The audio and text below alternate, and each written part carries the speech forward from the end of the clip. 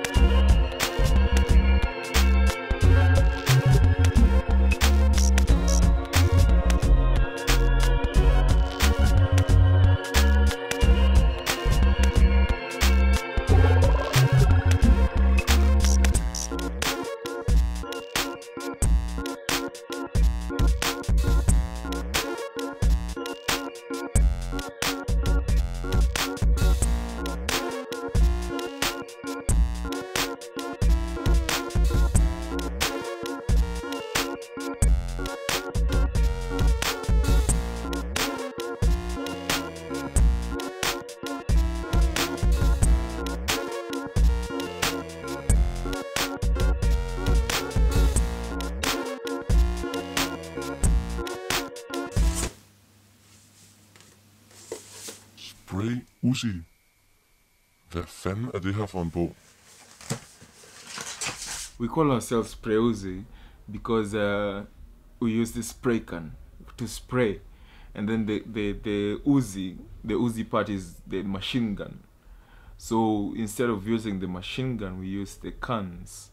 The Uzi can spray, you know, it sprays bullets. We spray ourselves an artwork.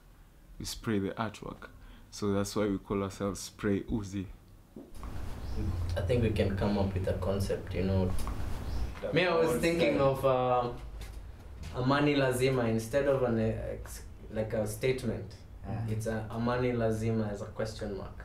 I don't think it's peaceful out, out there because unga it's really expensive and that's the main thing. So we do something We do we do, do yeah. something uh, uh, with a, a theme about uh, Yeah, just just praising uh, the, the Price. prices. Yeah. price. something to do with something to do with the food. And then me, I was thinking my my idea was also like having a child involved. Yeah.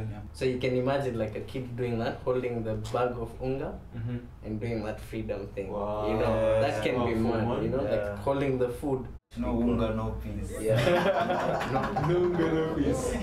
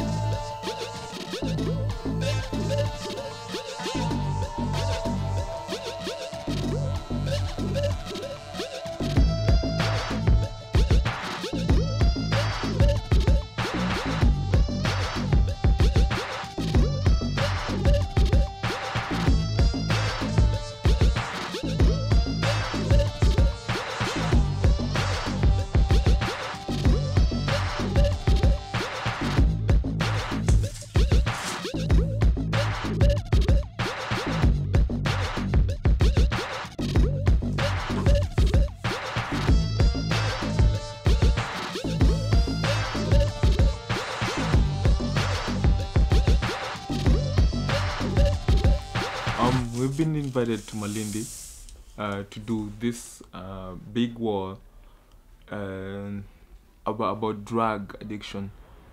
This Malindi place is the coastal town of Kenya, so we we're gonna travel um, like 900 kilometers from Nairobi to Malindi to uh, to do an art form, an artwork about uh, drug addiction. and I hope this is gonna stop uh, the the menace that is really huge over there. I hope it's gonna talk to the peddlers, and I hope it's gonna talk to the the addicts, and we hope it's gonna be positive in Malindi. I hope that the people around there are gonna appreciate the art form.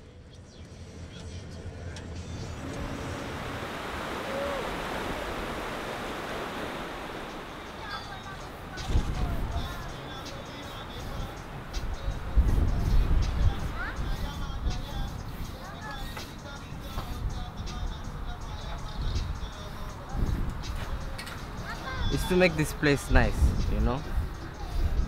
As much as it's under under the bridge, it still could look nice. Even when those drug addicts come here, they'll the color will affect them most definitely. And so it's important that those drug addicts, the drug users, the abusers, the losers, they they learn. They learn from what we're doing.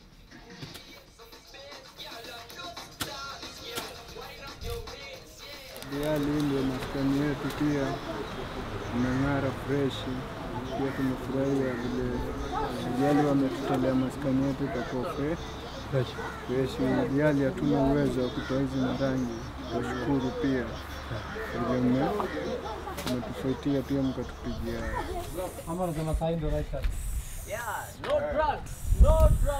Mostly um, people associate the, the something coming out of the spray like uh, the doom you know like um, um, the insecticide you know stuff that uh, is gonna kill an insect.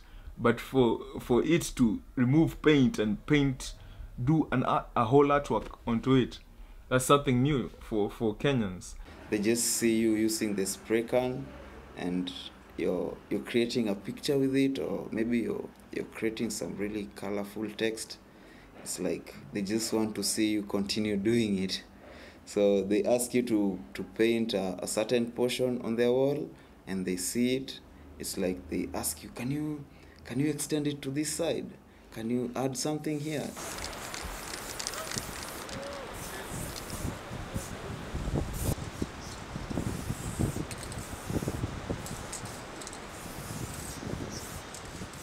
Graffiti is a is an art form that is new. So it's there's there's no way i can tell that it's illegal or it's legal. Because it's yet to be to be put out there it's yet to be allowed in. Most people don't consider it as vandalism provided you're not painting uh, on a church wall or on a school wall something like that. Mostly the city council will be the ones on your neck. And not not really the police because the police um, have a lot to a lot of things to to stop a lot of crime to stop. They don't perceive art as a crime yet yet